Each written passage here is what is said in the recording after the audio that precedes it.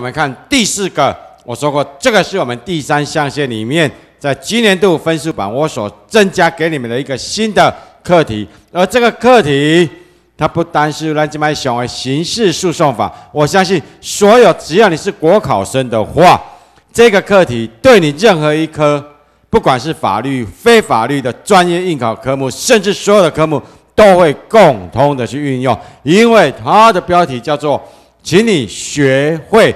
放下的真意，真实的意义，那就是放下时间，放下你真的要读的范围，进而去掌握真正你该掌握的基本，去扎实它，并且去练习解题。魏公老师啊，放下时间，放下考试的范围，来放下那就挂掉了嘛。我基本上我要放下，因为现在距离考试。起码都有三个月、四个月，甚至久一点的，还有到五个月。但是都已经进入了中间，快接近考试的时期。这时尊，如果你会慌，你心里会害怕，你会开始产生，不是啥金钱挣透症哦，是你打刚在洗啊背起来时尊，难免想到某一些东西，心中就会担心，心中就不会那么的快乐迎接一天，或者是你晚上要睡觉的时候。总是觉得有一点点呢不安，这的是。如果你现在开始有这个症状，这种症状一定是出现在考试前还有几个月，更何况有些要求过郎都已经开始在帮大家倒数了。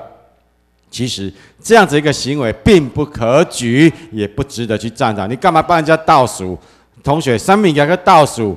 那就只有快挂掉的人才会倒数。一个真正会成功的人，他不需要倒数，他反而要放下。而且，同学记住哦，放下不等于放弃。我不叫你放弃，我是叫你们放下。放下什么呢？放下这些不必要加深自己、拿来烦恼自己、惊死大你的东西。而要叫你们放下不应该有的，去掌握你应该拥有的，这的是咱起码最重要的课题。如果你肯专心、精心，并且用心去体会，我相信接下来你会发现什么叫做神奇的事。那当然，类似的是分数在你身上发生的。如果你不信的话，随着里面的内容，你一定会去思考。来，这个呢，真正的意思就是要跟你们讲。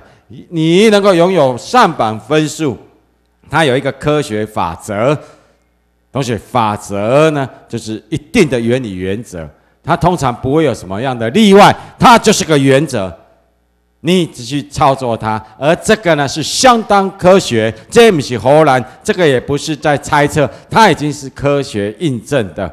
让你们去知道有一种科学的法则，这个科学的法则会让你进而去拥有你想要拥有的成功，这是上榜的分数。来，我们现在开始来讲，为什么称它为科学法则？因为它可以被印证，可以让你去看看他有什么样的一些事实跟证据呢，来论证这一个原则。来。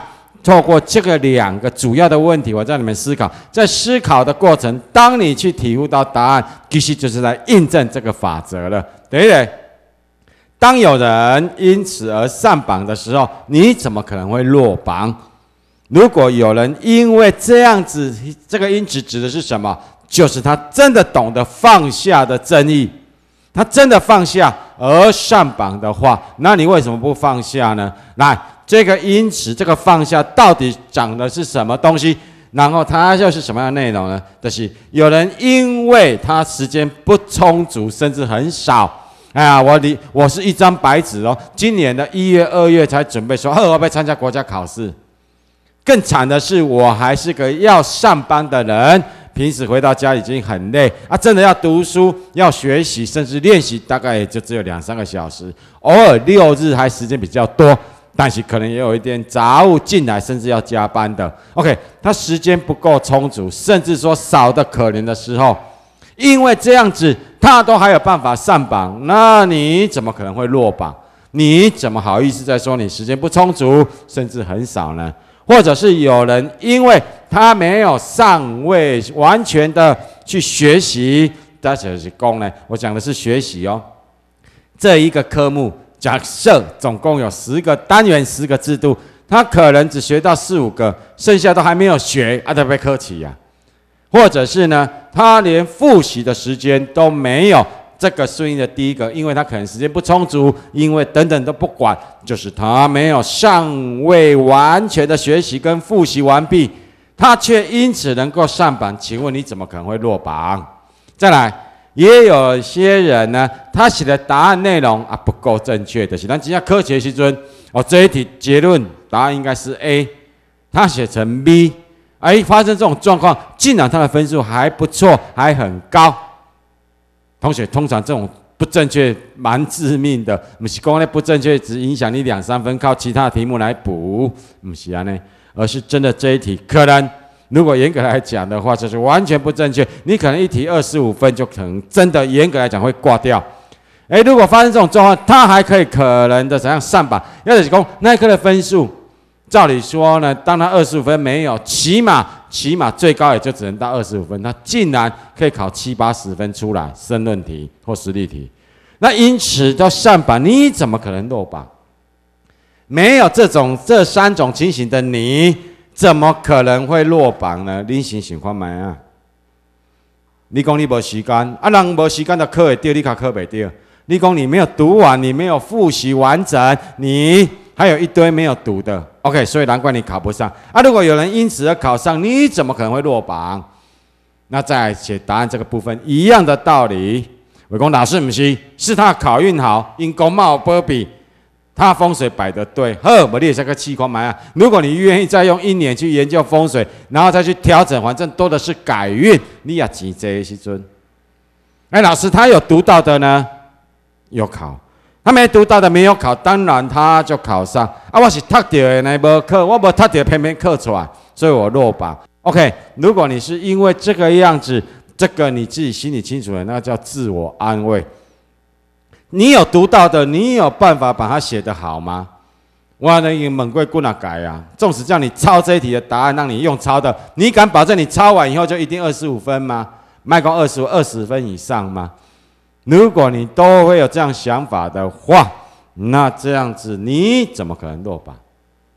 过来，第二个问题，那如果只要有人有，只要全国的考生卖公瓦贼啦，的超过十分之一以上的人都有这种情形，他进了上榜的话，那你就不要跟我讲要上榜，一定要时间充足，复习。学习的够完整，全部读完，全部读熟，而且答案都要写的正确。另外一个要公这样，黑的是变成你不科学。第二个，当有人因此落榜，你怎么还会深信不疑？安装落榜，因此就是这个同一类科目不不断的学习复习，那不断的读书还会落榜，那你怎么还会相信你今天要上榜要怎样读得很认真？要全部都已经学过，而且对他都学得很熟，背得很熟，就会上榜。你为什么还会有这样子的一个习惯，这样子一个理念，甚至这样的一个做法呢？啊，多的是这样落榜。哎，怎样吧，同学，这两个问题，你看看，你先想看看，如果如果他的答案都是怎样，这个你怎么可能落榜啊？对哈，我看可能落榜。对啊，我为什么要深信不疑？他，如果你对他已经产生怀疑，代表这个已经是经过科学印证，在科学上印证的结果是你所想的并不是如此，你反而是不科学。这个关键点就在于为什么它是科学呢？因为上榜不在时间、读书跟考运。如果是的话，就不会有第一种状况出现；如果是的话，也不会有第二种状况。啊，塔卡像这尼呀，而且还是全职考生，那怎么还是在落榜？同学，那在于什么？而在于一个关键法则，就是我讲的这个科学法则。关键法则的是科学，因为它够科学，所以它形成一个影响分数高低、上榜与否的关键。OK，只有这个法则，你知不知道？你愿不愿意照做而已，并不在于这个你的时间。读书考运，所以我妈跟我这个时候拜托，越到考试将近，请你放下这个不科学的看法，来，再更加一步的说明，让你真的知道这个法则。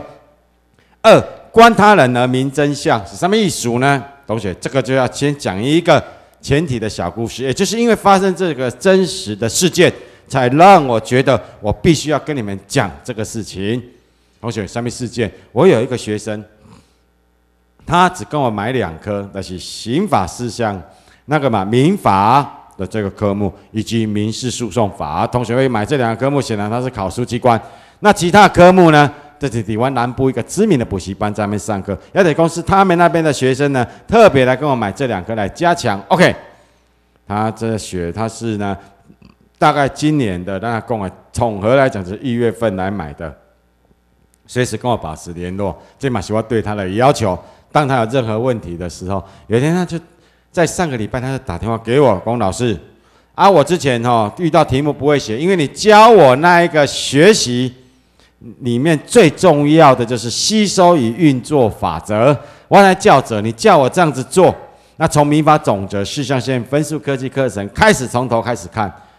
那一个礼拜后打电话跟你讲，我应用这一个吸收与运用法则，这样操作之下，我的心得感想，看有没有什么不一样。